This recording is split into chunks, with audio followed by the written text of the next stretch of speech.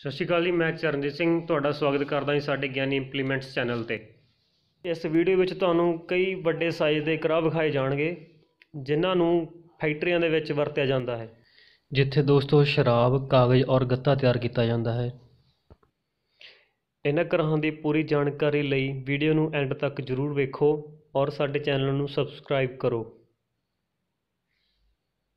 ਜਿਵੇਂ ਕਿ ਤੁਸੀਂ ਦੇਖ ਰਹੇ ਹੋ, ਇਹਨਾਂ ਵੀਡੀਓ ਵਿੱਚ ਕਰਾਹਾਂ ਨੂੰ ਇਹਨਾਂ ਦੇ ਸਾਈਜ਼ ਆਮ ਕਰਾਹਾਂ ਨਾਲੋਂ ਵੱਡੇ ਹੁੰਦੇ ਹਨ।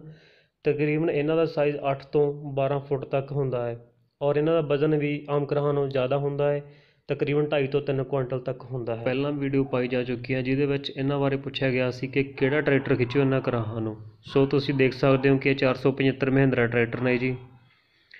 ਇਹ ਟਰੈਕਟਰ ਗਰਮ ਨਹੀਂ ਹੁੰਦੇ ਕਿਉਂਕਿ ਇਹ ਲਗਾਤਾਰ 24 ਘੰਟੇ ਕਰਾਹ ਚੱਲਦੇ ਆ ਜੀ। ਔਰ ਜਿਵੇਂ ਕਿ ਇਹ ਕਰਾਹ ਹੈ, ਇਹ ਬੈਕ ਗੇਅਰ ਤੇ ਚੱਲਦਾ ਜੀ। ਇਹ ਛਿਲਕੇ ਨੂੰ ਪਿੱਛੇ ਵੱਲ ਧੱਕਦਾ ਹੈ।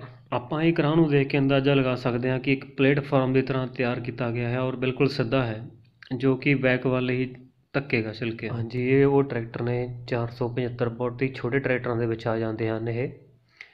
ਕਰਾਹਾਂ ਦੇ, ਕਰਾਹਾਂ ਨੂੰ ਦੇਖਣ ਤੇ ਤਾਂ ਇਹੀ ਅੰਦਾਜ਼ਾ ਲਗਾਇਆ ਜਾ ਸਕਦਾ ਹੈ ਕਿ ਟਰੈਕਟਰ 4x4 ਜਾਂ ਕੋਈ ਵੱਡਾ ਟਰੈਕਟਰ ਹੋਣਾ। ਪਰ ਨਹੀਂ, ਤੁਸੀਂ ਦੇਖ ਸਕਦੇ ਹੋ ਕਿ ਇਹ ਛੋਟੇ ਟਰੈਕਟਰ ਨੇ ਆਮ ਟਰੈਕਟਰ ਨਾਰਮਲ ਕਿਉਂਕਿ ਛਿਲਕਾ ਹਲਕਾ ਹੁੰਦਾ ਜੀ, ਇਹਦੇ ਨਾਲ ਕੋਈ ਟਰੈਕਟਰ ਜ਼ਿਆਦਾ ਲੋਡ ਨਹੀਂ ਪੈਂਦਾ। ਔਰ ਛਿਲਕੇ ਦੇ ਇਹਨਾਂ ਰਾਹੀਂ ਉੱਚੇ ਉੱਚੇ ਢੇਰ ਲਗਾਏ ਜਾਂਦੇ ਹਨ ਜੀ, ਇੱਕ ਸਾਈਡ ਤੇ ਛਿਲਕੇ ਨੂੰ ਸਟੋਰ ਕੀਤਾ ਜਾਂਦਾ ਹੈ। ਬਾਕੀ ਹੋਰ ਜਾਣਕਾਰੀ ਲਈ ਤੁਸੀਂ ਸਾਡੇ ਨਾਲ ਹੇਠ ਦਿੱਤੇ ਨੰਬਰ ਤੇ ਸੰਪਰਕ ਕਰ ਸਕਦੇ ਹੋ ਜੀ, ਔਰ ਸਾਡੀ ਵਰਕਸ਼ਾਪ ਤੇ ਵਿਜ਼ਿਟ ਕਰ ਸਕਦੇ ਹੋ, ਜੋ ਕਿ ਬਰਨਾਲਾ ਸ਼ਹਿਰ ਦੇ ਵਿੱਚ ਖਾਸ ਹੈ ਜੀ, ਜਿਸ ਦਾ ਐਡਰੈਸ ਤੁਹਾਨੂੰ ਡਿਸਕ੍ਰਿਪਸ਼ਨ ਦੇ ਵਿੱਚ ਮਿਲ ਜਾਵੇਗਾ। ਤਾਂ ਕਿ ਇਹ ਬਿਨਾ ਪੇਂਟ ਤੋਂ ਦਿੱਤੇ ਜਾਂਦੇ ਹਨ, ਕਿਉਂਕਿ ਲਗਾਤਾਰ ਚੱਲਣ ਦੇ ਕਰਕੇ ਇਹਨਾਂ ਤੇ ਪੇਂਟ ਦਾ ਕੋਈ ਅਸਰ ਨਹੀਂ ਹੁੰਦਾ ਔਰ ਨਾ ਹੀ ਕੋਈ ਫਾਇਦਾ ਹੈ। ਕਿਉਂਕਿ ਇਹ ਜਿਸ ਤਰ੍ਹਾਂ ਚੱਲਦਾ ਰਹਿੰਦਾ ਹੈ ਦੋਸਤੋ, ਇੱਕ ਸਟੀਲ ਦੇ ਵਾਂਗੂ ਇਹਦੇ ਵਿੱਚ ਚਮਕ ਆ ਜਾਂਦੀ ਹੈ। ਦੋਸਤੋ, ਸਾਡੇ ਹੋਰ ਵੀਡੀਓ ਦੇਖਣ ਦੇ ਲਈ ਸਾਡਾ ਚੈਨਲ ਜਰੂਰ ਸਬਸਕ੍ਰਾਈਬ ਕਰੋ। ਧੰਨਵਾਦ ਜੀ।